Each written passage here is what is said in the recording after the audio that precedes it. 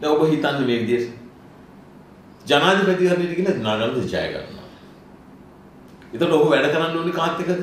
මේ පාර්ලිමේන්තුවේ ඉන්න 225ත් එක්ක. මේ 225 ගැන නාගන්ද ඔබට අලුතෙන් කියන්න ඕනේ නැහැ.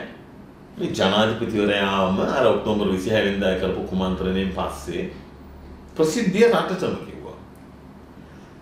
මේ එකෙක් මිලියන 500ක් ඉල්ලනවා කියලා කිව්වා. ඒ වගේම ඔබ දන්නවා මේ වත්තානකොට මේ පාර්ලිමේන්තුවේ ඉන්නේ 100 ගානකට අමාත්‍ය මණ්ඩලයට විරුද්ධ පක්ෂයට മന്ത്രിවරුන්ට පරපතල චෝදනා රැසක් ඔබේ පරමාධිකාරී අයිතිය බලය ක්‍රියාත්මක කරන අධිකරණය නඩපාලනය. ඉතින් මේ මේ කට්ටියත් එක්ක කොහොමද රටක් තව ගෙනියන්නේ? ආංශ අංගලක් ගෙනියන්න පුළුවන්ද? මේ කට්ටිය ගෙනිච්ච මේ දක්වාම මේ රට ආපස්සට. ඒ කියන්නේ ඒක විශාල විදිහට මේ රටේ මේ විදිහට කඩා වැටීමට බලපෑවා. එවැනි අවස්ථාවක ගතියුතු තීරණයක් තියෙනවා. මොකද මේම කියන්නේ මොකද මවුන්ට් එරේව අධිකරණයට ගියාම නීතිපති දාලා දුවනවා. දූෂණ කොමිසම පැදුරයට රිංගනවා. විනිශ්චයකාරවරු සම්පූර්ණයෙන්ම දැන් ඔවුන් බෙලහීමටපත් වෙලා අග්‍ර විනිශ්චයකාරවරයා පවා මේ නඩුවෙන් ඉවත් වුණා. කියන්නේ මේ මන්ත්‍රීවරු 100 ගානකට අමාත්‍ය මණ්ඩලයේ ජනාධිපති දරතෙන් නඩුවෙන් ජන අග්‍ර විනිශ්චයකාරවරයාත් මේ නඩුවෙන් ඉවත් වුණා.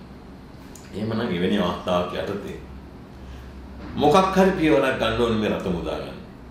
අන්න ඒක නිසා තමයි නාගානන්ද මෙතනින් තල්ලු වෙලා යන්නේ. රටේ පරම අධිකාරිය වෙන මහ ජනතාව විසින්ම ඔවුන්ගේ ඒ බලය පාවිච්චි කරමින් මේ පරම අධිකාරියට තියෙන අංග තුනක් ව්‍යවස්ථාදායක බලය, විධායක බලය, අධිකරණ බලය. තමන්ගේ අධිකරණ බලය තමන්ගේ ව්‍යවස්ථාදායක බලය තමන් පත් කරපු නියෝජිතයෝ මාර්ගයෙන් නෙවෙයි. තමන්ගේ සේවකයෝ. තමන් මේ ඔවුන්ට දීලා තිබුණා ජනතාව වරමත් දීලා තියෙන්නේ රටේ නීතියටත් ආණ්ඩුක්‍රම ව්‍යවස්ථාවට අනුව තමන්ගේ කාර්ය කර්තව්‍ය ඉෂ්ට කිරීම නිසා රට මංකොල්ල කරන්න නෙවෙයි.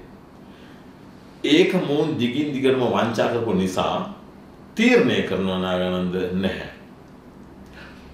රටේ පරම අධිකාරී වෙන මහ ජනතාව විසින්ම තමන්ගේ බලය ක්‍රියාත්මක කරමින් පවතින ආණ්ඩු ව්‍යවස්ථාව චේතනාන්විතව බැහැර කළා නව ජනරජ ව්‍යවස්ථාවක් ගේන. අන්න ඒක තමයි ඌ තීරණය කළේ. දැන් ඒක තමයි දැන් වික්ටර් ඉවන් කියලා තිබුණේ එහෙම දෙයක් කරන්න බෑ. මේක මේක වැරදි තියෙන ව්‍යවස්ථාවට. දැන් එතකොට මේ කතා කරන්නේ මොකද්ද? රට ඔන්න ඔය මංකොල්ල කාපු දෙන්නේ. ඒ ගැන මොරි වෙන්න එපා. මේ මංකොල්ල කාර්යොත් එක්කම යන්න කියන තමයි මේ යෝජනා කරන්නේ. කවදාකවත් මේ රටේ ඔබ අපේක්ෂා කරනවා නම් මේ රටේ මේ ගිය ක්‍රමයේ ආපු අගමුල වෙනස් කරන්න මේ ක්‍රමෙන් බෑ. ඒක න නාගන්දට කිසිම වැදගත්කමක් නැහැ ਉਹ ජනාධිපති වෙනා කෙනෙක්.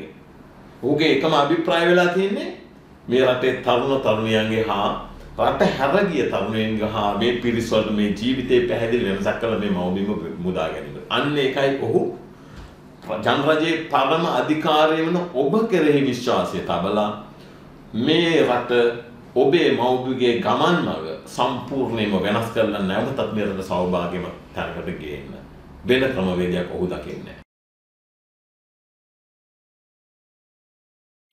මම අර වික්ටරයින්ගේ එකට මම කියලා උත්තරයක් දැම්මා. ඔබ රම් රන් ආභරණයක් හදාගන්න යනවා නම් රන් කරුවෙක් ළඟට යනවා. මිසක් කම්මල් කාරයෙක් ළඟට යන්නේ නැහැ. කියලා. ඒ වගේ දැන් ඔබ දැක්ක මේ සම්බන්ධයෙන් දැනටත් විද්‍යුතුන් රසක් මේ ගැන අදහස් පළ කළා.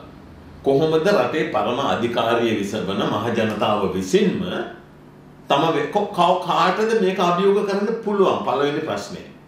රටේ උත්තරීතර අධිකාරිය රටේ මහ ජනතාව. මේක මේ හොරෙන් රට හං රට වංචා කරලා හොරෙන් කරන වැඩක් නෙවෙයි.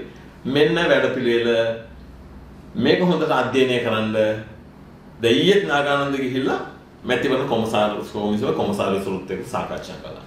ඒ වගේම ඊට කලින් දවසේ විගණ කාධිපතිවරයාත් සාකච්ඡා කළා. ඔබ හිතන්න එපා මේ නාගානන්ද රූමනා විදිහට කරන වැඩක් කියලා.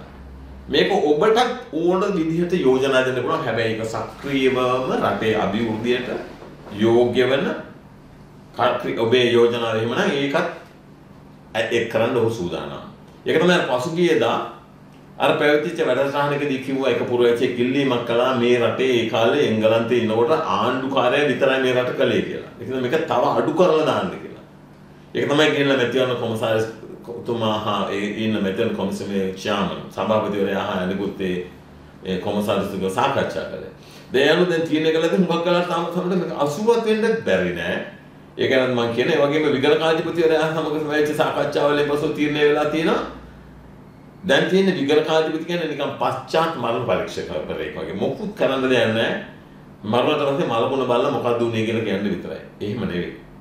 මේක හොඳ නිදර්ශනයක්ද? ඔබ දන්නවා මේ ඊපරේදා රාජි කරුණානායක තීරණය කරනවා අමාත්‍යවරයා තීරණය කරනවා මෙහෙම බලය මේ විදුලිය මිලදී ගන්න කියලා බිලියන් ගානක කවුරුත් දන්නේ. විගණකාධිපතිවරයා මේක 6ක් 4ක් දන්නේ කොහෙන්ද ගන්නෙ? කොපමණ ගන්නවද? කොපමණ කාල පරිච්ඡේදයකද මිල තීරණය කළේ කොහොමද? මුළු රටේ කිසි කෙනෙක් දන්නේ මේක අපිව අඳුරේ තියලා එක්තරා කණ්ඩායමක් මේක තමයි ලංකාවේ ක්‍රියාත්මක කරන ප්‍රජාතන්ත්‍රවාදය. එක්තරා කණ්ඩායමක් පැත්ත මාරු වෙන එක වෙනම දෙයක්. වරින් වර නිදහසේ මේ මව්බිම මංකොල්ලයක් කරනවා. අධිකරණයේ දෙපයින් පාගගෙන ඉන්න නීතිපති කෙනෙක් ඉන්න උන්ගේ ග්‍රහණේ දූෂණ කොමිසම නමට තියෙනවා. මෙන්න මේක මේ ගේන් හදන ව්‍යවස්ථාවේ කරන්න හදන මේක අගමුල වෙනස් කරනවා.